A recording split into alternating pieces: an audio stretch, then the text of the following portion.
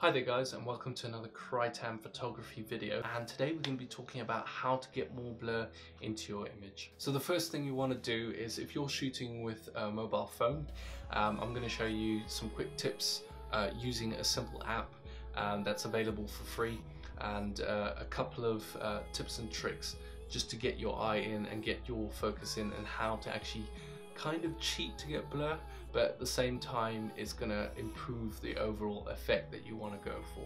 So stay tuned. We're going to hop into my phone and do this quickly. Um, so here I have shot um, my watch. I just took it off quickly just to show you um, how you can actually add the blur in post production. Um, if your phone camera doesn't have a, a blur option, uh, not to worry. If you've got a good enough camera, you can still get a blur in your image, but it just takes a couple of minutes playing around with Snapseed to get this effect going. So the first thing you want to do is hop into Snapseed. Um, I shot in RAW, so I got the option to develop um, the edit, uh, play with the exposure and saturation. So I'm happy with that. And you're going to move on to the next bit of the editing. So you want to tap on the uh, uh, drawing tool on there, and you're going to go to where it says lens blur in the filters section. So click on that and you're going to be brought up with an elliptical tool.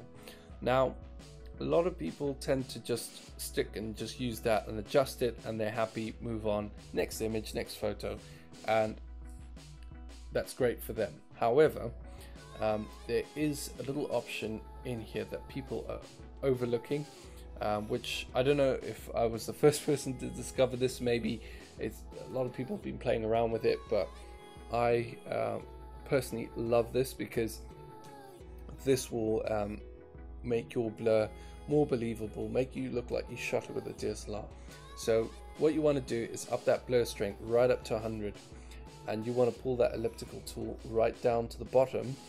Um, but I want to bring my fingers in focus and the watch in focus. But you're saying Phil right what's happening? The watch is out of focus now and part of your fingers out of focus. How is this helping me? I'll tell you what, just hit that tick there because I'm going to show you a trick. So at the top of the screen, there's a little revert um, to view edits. So you can actually go back into the editing option and play around with the settings to, uh, to your liking. So you can go back in there and you can say view edits. And this will give you an option to go back into the lens blur. Now, instead of going back into the normal setting that we had before where you could play around with the elliptical tool, you can click on the paintbrush one and this option allows you to paint that blur that you had into your image and only into the parts that you want the blur to affect.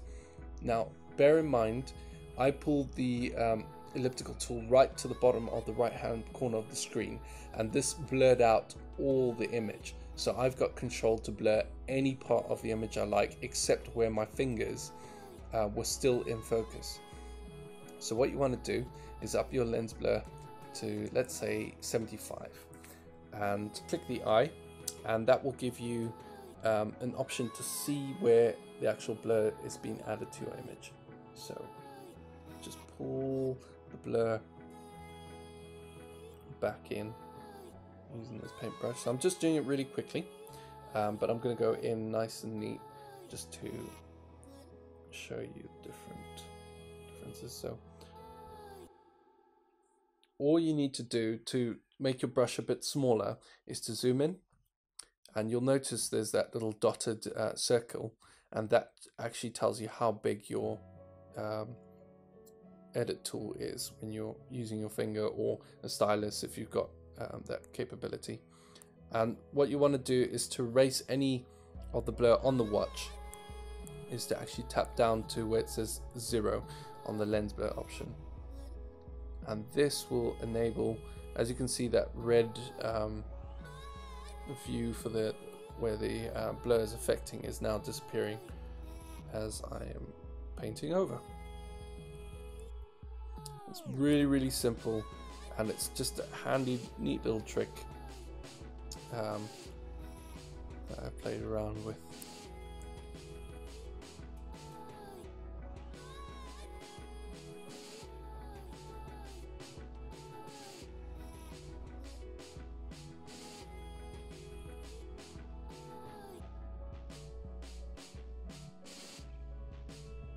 Just bringing my fingers back into focus.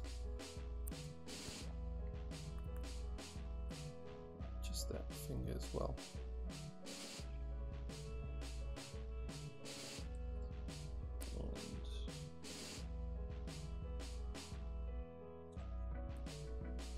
There we are.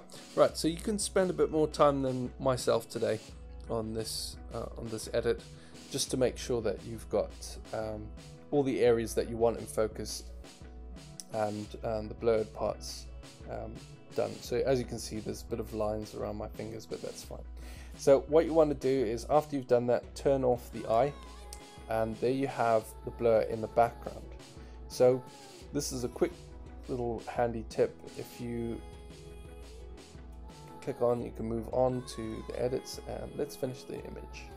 So like the black and white, so I'm going to go black and white on this.